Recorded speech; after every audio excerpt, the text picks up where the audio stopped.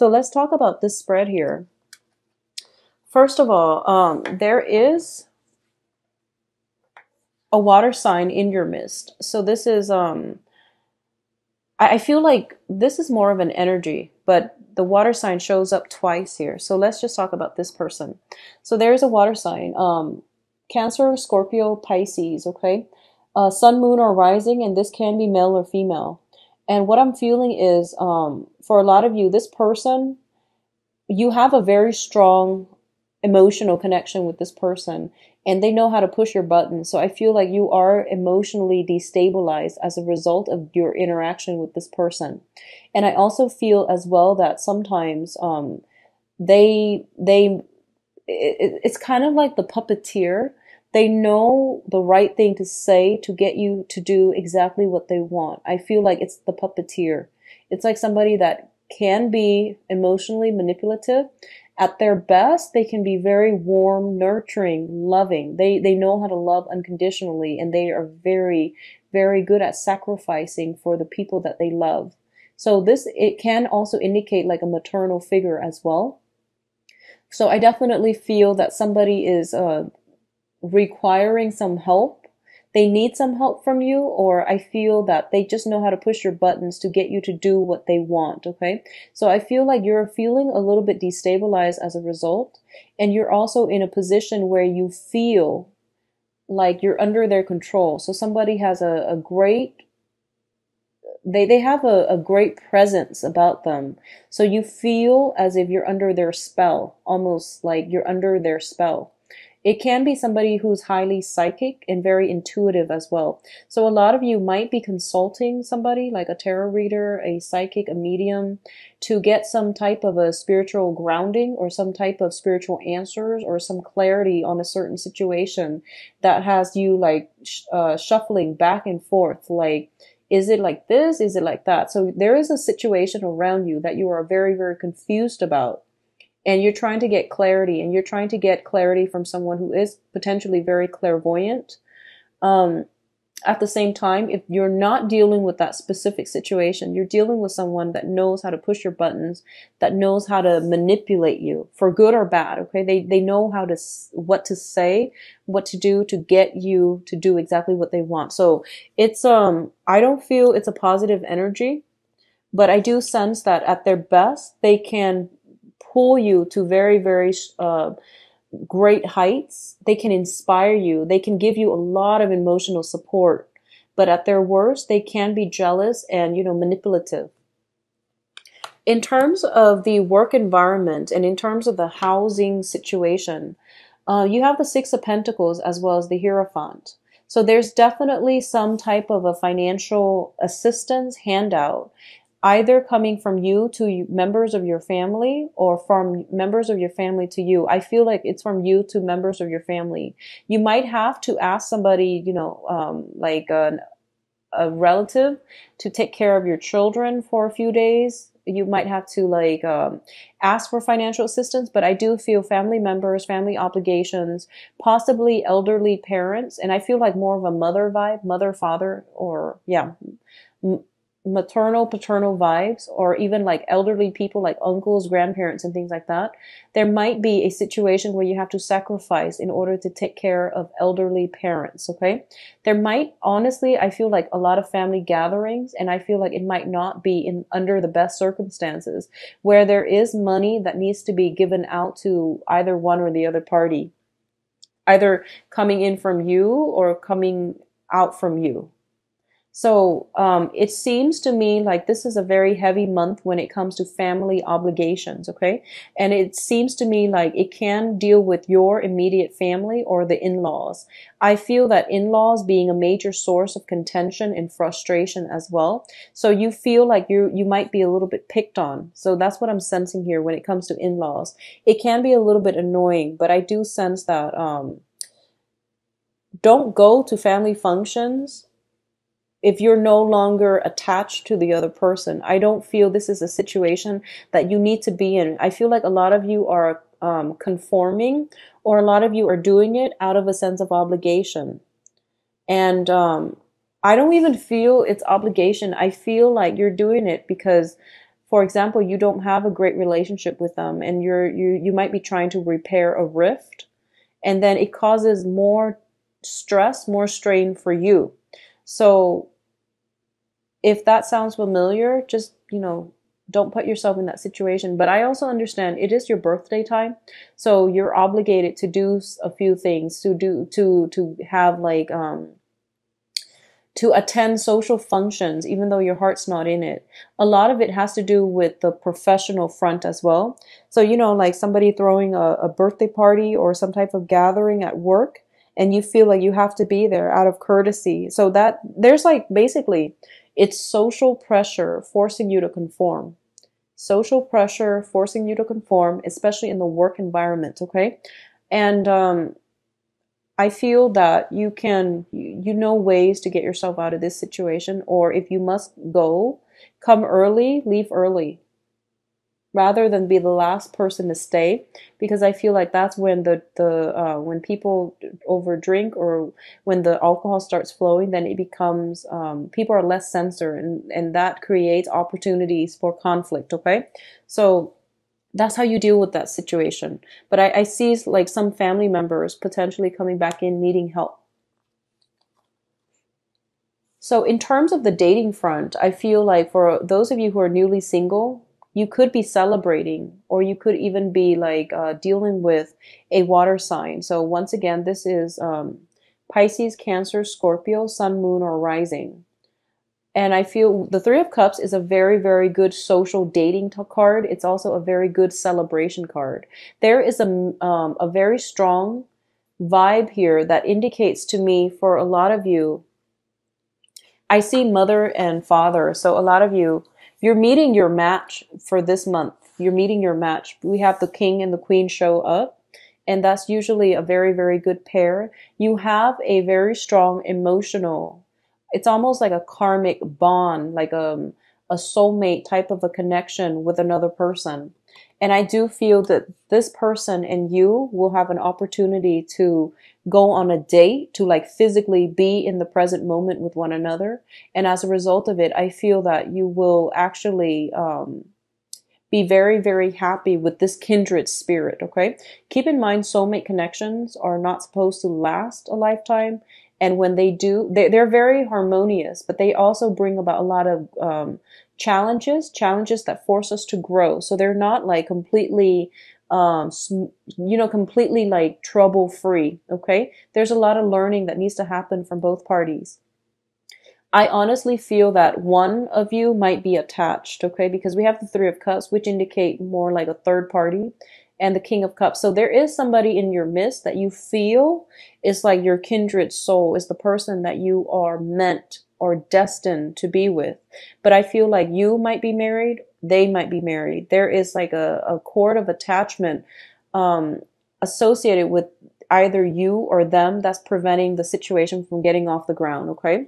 So I feel like if you are dealing with somebody who is potentially in a marriage situation or attached to somebody else, you might really care about them. You might really want to be with them because you feel this tangible bond between the two of you where you might like have dreams about them, where you might like, you know, heavily fantasize about them. But I feel like you're distracting yourself dating other people and the the other people like i said they're options they're just you know very minor characters in the greater um uh, i guess like performance here so they're not really meeting all your expectations because you put this pe- person on a pedestal you feel like this is the kindred soul so i feel a lot of social dating and but i do feel like for for a lot of you this water sign or this person that has these qualities where you feel this very strong karmic tie with them you haven't dated them yet but i feel like there's third parties interfering or you're dating socially dating you're trying to date but this person is like preoccupying your thoughts in your mind okay? It could be male or female as well. It doesn't have to be a male now, in terms of um, your dream state, so I mentioned earlier um, having dreams about a kindred spirit, okay? So the Six of Cups does indicate a situation where we have a past life connection with another person and it brings about a very strong soul connection. So there's a lot of chemistry there's a lot of like um you know dreams and and like that sense of um that sense of like recognition when even when you first meet. So i feel like there this is a very serendipitous month for a lot of you where you have a lot of um, past life like flashbacks coming through from your dreams. You also have a lot of divine like um, messages coming through to for you in your dream state. So it's really important for you to get enough rest okay? What i'm also feeling is that for those of you who have children there's a lot of concerns over children either health issues or you know uh, them having nightmares is what I'm feeling. So just um, you know, keep them by your side, or you know, stay. I feel like a lot of you might be losing sleep mainly because you're concerned over a child, and um, especially for for those of you who have like, um, I feel like getting pets or animals would be very good if your children has um, if your child or if your children have anxiety getting pets, getting um, you know some type of a cuddly animal um, would be very good as like a form of, therapy for your children if they have anxiety or if they have like um, if they have trouble connecting with um, their environment. So that could be you know autism and things like that. But i do feel that it would be very good for you to get them pets okay um, I know it's a lot of responsibilities, and you're not sure if this can be um, accomplished, but I definitely see some concerns regarding children, and especially in your dream state too. I do feel like a very strong soul connection, and also like um, a lot of you might also be wanting to have children as well. Um, I'm also getting the message that it's like praying for for um, pregnancy, praying for pregnancy coming through with this spread here. So in terms of your advice, let's go through this very quickly. Um, we have here the Ten of Pentacles, the World, and the Six of Swords. Now, the Ten of Pentacles is a card about financial abundance. So I feel like for a lot of you, you're not going to have to be so concerned about money. And I feel like money was a, a running issue within the past few, um, this was like, I feel, and at this point, things are going really, really well for you and you are as well going to be able to get a lot of help from your family members. Like I said earlier, family members might ask for help or you might be the one to ask for help from family members. I do feel a lot of you have very generous parents, especially father figures that can be able to help you greatly on the financial front. He can also help you on the uh, work front, like networking, um, meeting social contacts, introducing you to, to the right people that can boost your resume or that can accept you in terms of jobs. Okay. So I feel like you are hesitant about asking for help, but if you are struggling, if you are, you know, if you are looking for a job, just, you know, casually say, if you can name drop them, casually ask if you can name drop somebody in your family in, in an interview in order to land a job. Um, I don't recommend it, but I feel like if you're in a situation, family members, name dropping a couple family members, I feel might be helpful for you in landing that job. So either way, we have some ge- the generational wealth situation here, where there is um, some type of a um, some type of an event where family members are all coming together. So I definitely feel that sense of family loyalty. You know, sometimes family members can be very difficult to deal with because they're some of the most karmic relationships that we would have, we have. I feel for a lot of you, you have closed some doors on some family members that might have been very toxic or you have lived far away from family members. And I feel like this is the month in which everyone comes back together. There's reunion when it comes to like children, family members. There's like, I, I, feel like more of a mom and dad vibe with this queen and the king of cups. I feel the Hierophant indicates, you know, tradition, getting back to some type of a tradition, family reunions. And, um, one of the things that I'm, I'm inclined to say is that a lot of the times, you know, we travel into the world we have the world card here. This is a card about travel, expansion, philosophical like um, expansion, but also like religious philosophical expansion, um, seeking higher knowledge, expand expanding our knowledge base. Okay, a lot of the times, Gemini's, um, you are like the the jack of all trades. You have a lot of um, just um, areas of expertise, you are very progressive in the way that you think. And I, I honestly feel like there's that element here of feeling very stifled by your family members because um, you feel, a lot of you might feel as if the family members might have resided in a, a town and they might have been there for many generations. So you feel like I have to break out of it. And I feel like this is the month in which you are starting to realize, um, and it goes both ways. So I feel like one ways in which it can play out is that um, you are realizing that you know family baggage, family cultural traditions, and things like that have really held you back and have really like um, really I guess like stunted the way that you look at the world. Okay. Um, the other way that I'm, I'm sensing here is that you are overcoming a lot of differences within the family unit. So that means to me a lot of reconciliation happening with the family members. And um, I see some major event happening this month that is bringing everybody back together. So there's that sense of reverting back to a familiar state of being. There's that sense of reconciliation. There's that sense of coming together, letting go of our differences and just coming together for this one major event where everyone takes care of one another. So that sense of familial love is definitely returning for a lot of you. You might have gone off into the world. You might have traveled, expanded, you know, um, and then you realize that, um, and, and, just, you know, your life could be just going j- just totally fine. But I feel like once in a while, getting back in touch with your roots you're starting to realize that okay it's really important for me to to um, you know know and understand where i come from so that i know which direction i want to go. So i feel like smoothing over this is once again transitioning from a very a place with very choppy water into a safer haven okay? So i feel like for a lot of you the the the uh, whatever disparities in ideology, philosophical beliefs, you know, political, religious stance that you have with uh, family members, um, they're being smoothed over.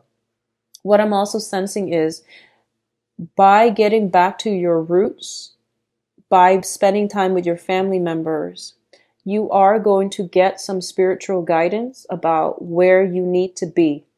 I feel that message coming in for a lot of you because Geminis, you are the, the, the jack of all trades and um, a lot of the times, you know, you scatter your energy because you're trying to find, you know, there are so many things that you're good at and so many things that you're interested in.